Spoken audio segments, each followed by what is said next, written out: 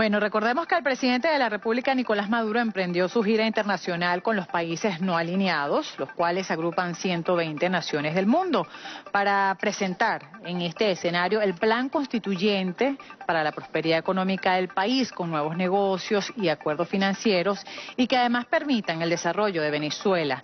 Para el análisis de este tema y otros también que se van a estar generando en esta conversación, ya tenemos acá la grata visita y compañía del sociólogo y bueno, también internacional si se quiere decir.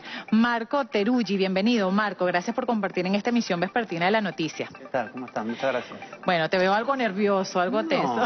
No se cree. bueno, Marco, ya como tú lo has visto en el inicio ya de nuestra emisión, eh, ha sido centro y atención de la mirada de los medios de comunicación y también en nuestro país esta gira que está realizando el presidente Nicolás Maduro. La ha catalogado como esta gira relámpago, pero además que es muy eh, se, produce un momento para nuestro país, si se quiere, bastante importante. Toda esta guerra económica que hemos vivido ya desde hace ya dos años, un poco más, y en donde Venezuela le ha venido haciendo frente. ¿Qué tan clave es esta gira para que Venezuela se prepare para seguir haciendo frente a esta guerra económica y además estos señalamientos también que se ha venido desencadenando desde otras organizaciones internacionales hacia nuestro país? Bien, Creo que lo primero es entender en qué momento se da la gira Nicolás Maduro, tanto a nivel nacional como a nivel internacional. A nivel nacional, la derecha está evidentemente en una situación de crisis, eh, que ya tienen dificultad para disimular, y eso ha hecho que la avanzada contra Venezuela sea a nivel internacional. Los Estados Unidos han tomado directamente eh, la voz contra Venezuela en lo político, anunciando una posible intervención militar, y en lo económico con las sanciones que quieren llevar al default a Venezuela. Ante eso, y ese intento directamente de llevar el plano internacional la confrontación contra Venezuela, se da esta gira que tiene dos objetivos. Uno económico, que tiene que ver para ver cómo enfrentar las sanciones económicas, y otro en términos políticos para no quedar aislados. Acá hay una estrategia para aislar a Venezuela y la... Eh, tarea que hay que hacer es justamente romper ese cerco que de a poco va tomando forma y vemos cómo diferentes actores aportan a esta demonización eh, sobre la revolución. Hay muchos desafíos para nuestro país, si se quiere decir. Además, cuando tenemos ya eh, casi que no, aquí a, pocos días, el próximo 20 de septiembre se va a estar realizando en Viena esa cumbre de los países para tratar el tema petrolero que sigue siendo también muy preocupante. Venezuela no se escapa también de estos desafíos que tendría que enfrentar en torno a cómo está el mercado actualmente y esto también le va a ayudar un poco también para abonar y hacerle también, este, si se quiere, el trabajo para hacerle frente, frente a, esta, a esta guerra económica. Háblanos un poco sobre esos desafíos, qué se estará enfrentando nuestro país sobre todo y qué es lo que se busca también allí acordar en este escenario. Sí, lo primero que nos enfrentamos es a un intento de asfixia internacional sobre Venezuela.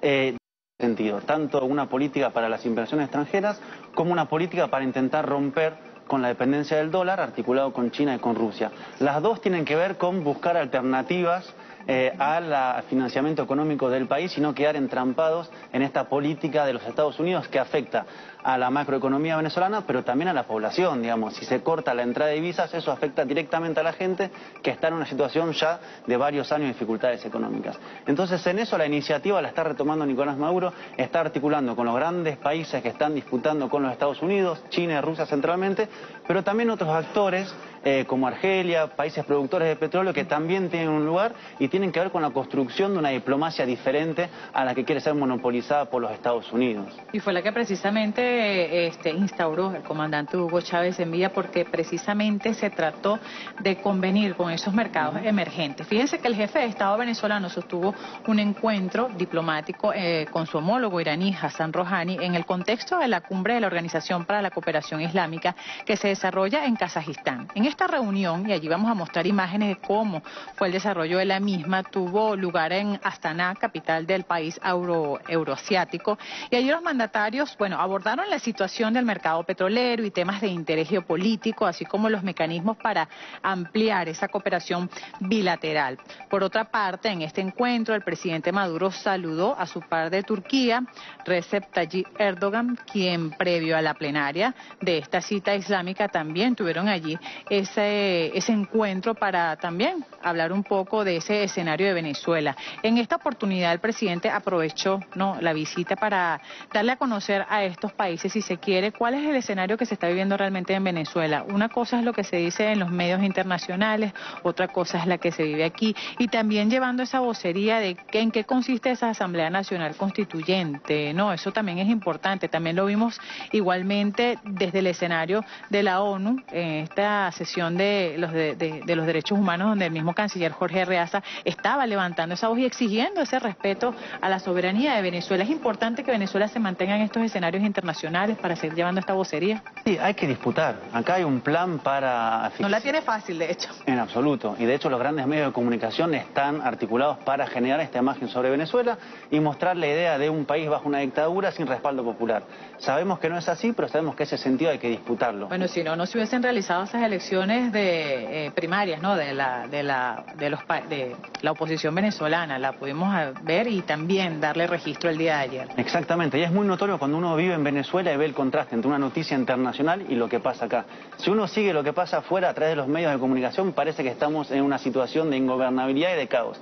Y uno todos los días vive en un país que evidentemente tiene dificultades, pero que no está para nada en esa situación. Ahora eso hay que convencer, hay que construir un mensaje para el mundo para demostrar no solamente que no estamos en esa situación, sino que además hay una propuesta de país, una propuesta de sociedad que se vio ahora con la ayuda humanitaria hacia el Caribe para hacer frente a las incidencias de la naturaleza que producto del cambio climático. Es decir, hay un modelo venezolano que defender en el extranjero. Para eso está Nicolás Maduro, están las vocerías, están los medios alternativos, pero hay una batalla central en el sentido. Si logran hacer creer que acá hay una dictadura, les va a ser más fácil apelar a la opción de intervención directa o indirecta, que también es otra posibilidad. Si nosotros logramos generar solidaridad, apoyo internacional, demostrar que somos esa eh, fuerza política, histórica que planteó el comandante Chávez, tenemos más posibilidades para resistir. La soledad es nuestro enemigo, la alianza de los pueblos es nuestra mejor solución. Bueno, sigue todavía en pie esta estrategia internacional de crear estos falsos eh, sobre Venezuela, lo decía hoy el mismo canciller Jorge Arriaza, pero además tú has eh, señalado algo bien importante y quisiéramos ahondar un poquito más, que la injerencia, si se quiere de alguna manera indirecta, estas sanciones que hemos visto hasta hace poco sobre Venezuela, es parte de esa injerencia indirecta. Exacto. Sí, la injerencia tiene varios niveles. Hay un nivel de la injerencia económica, ya abierta, digamos, Estados Unidos anunció que quiere crear un default en Venezuela. Y después hay injerencias encubiertas, lo que hemos visto estos meses de violencia de grupos paramilitares, del sector actuando, asediando pueblos, ciudades, poblaciones durante días. Eso es una forma de injerencia indirecta, digamos, camuflada. Yo creo que la estrategia hoy es difícilmente una que demuestre la imagen con tanta facilidad. Si los Estados Unidos anuncia que quieren intervenir militarmente, no quiere decir que vamos a tener una escena como una película de Hollywood, sino que más bien va a ser algo disimulado por debajo de la mesa que ya han venido ensayando en otros países. Hoy estamos en una guerra donde la comunicación, el sentido, la construcción para explicar lo que pasa es central. Ciertamente, Marco. Bueno, quisiera eh, aprovechar estos minutos contigo, esta conversación, además que está bien nutrida, para también hacer el, análisis de lo que fue la participación de Venezuela en esta sesión de la Organización de las Naciones Unidas. Recordemos que allí estuvo el canciller de la República, Jorge Arriaza, y hizo un señalamiento bien importante sobre estas acusaciones falsas que se han hecho por parte de otras naciones sobre la situación de Venezuela. Vamos a estar también presentándoles a ustedes parte de lo que fue eh, su participación participación allí y vamos a escuchar de inmediato qué fue lo puntual que dijo allí Venezuela en este escenario. Lamentablemente, señor presidente y distinguidos representantes permanentes, la historia reciente está plagada de casos donde el uso político, selectivo y parcializado del tema de los derechos humanos es la estrategia empleada por parte de aquellos que buscan imponer una sola visión del mundo, en clara violación de las normas y principios universalmente aceptados en esta materia. La estrategia que han aplicado contra mi país desde algunos centros de poder es claro ejemplo del uso de los derechos humanos como arma política con fines de, dominación. Día tras día se vierten acusaciones sin fundamento sobre la situación de derechos humanos en Venezuela.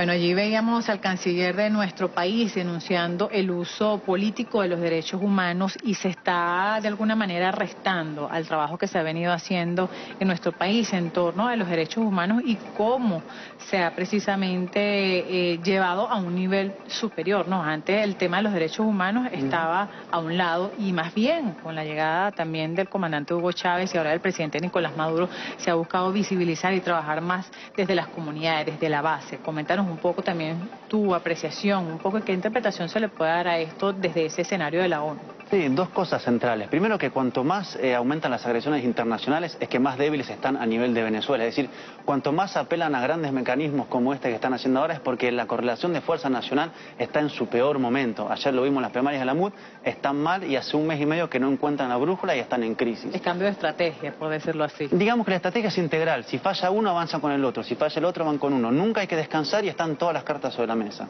Ahora bien, si me permitís también una pequeña irrupción personal.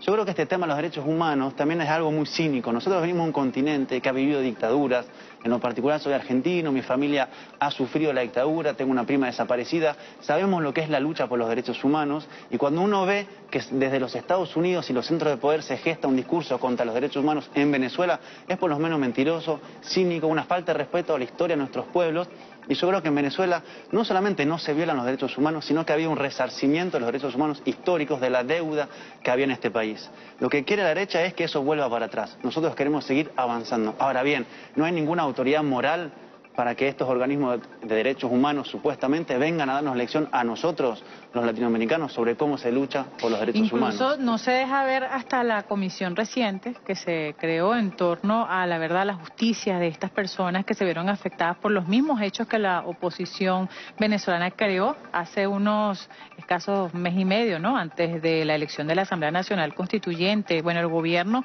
en pro de dignificar, ¿verdad? Y también de hacer la reparación de esos daños creó esta comisión que está presidida por Delcy Rodríguez, presidenta de la Asamblea Nacional Constituyente, y de esa manera tampoco se visualiza el hecho de que Venezuela está haciendo un esfuerzo precisamente por reconocer cada día más los derechos humanos. No quisiera dejar a un lado lo que fue también eh, parte de la participación. Allí el canciller de Venezuela, quien además denunció el bloqueo financiero, ya lo veníamos hablando, este bloqueo financiero desde Estados Unidos sobre la nación de Venezuela y así como las medidas que se han impuesto por Washington contra Cuba. Vamos a escuchar.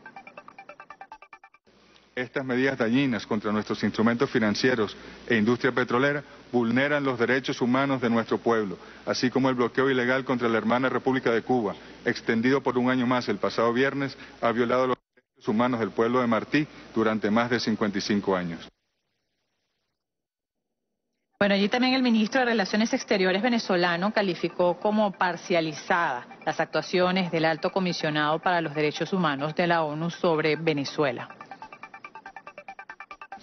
La Oficina del Alto Comisionado debe realizar sus actividades en estricto cumplimiento del mandato establecido por la Asamblea General, actuando a solicitud de los Estados miembros sin extralimitarse en sus funciones. Su trabajo debe ser objetivo e imparcial.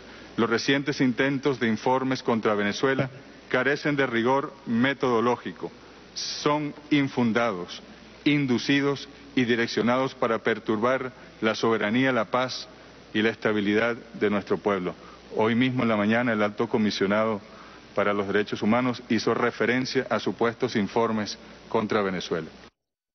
Bueno, y tenemos al canciller de Venezuela, Jorge Arreaza. Yo diría este, que la palabra aquí clave es desafío, ¿no? Venezuela tiene muchos desafíos en este escenario internacional. Sobre todo vimos a un presidente Nicolás Maduro llevando esa voz y creando esas estrategias, además para fortalecer el mercado petrolero, pero también vemos a la par esta Venezuela que está en estos escenarios solicitando respeto y sobre todo este, haciendo ese llamado que no haya parcialización, que es lo que hemos visto sobre todo en estas instancias internacionales.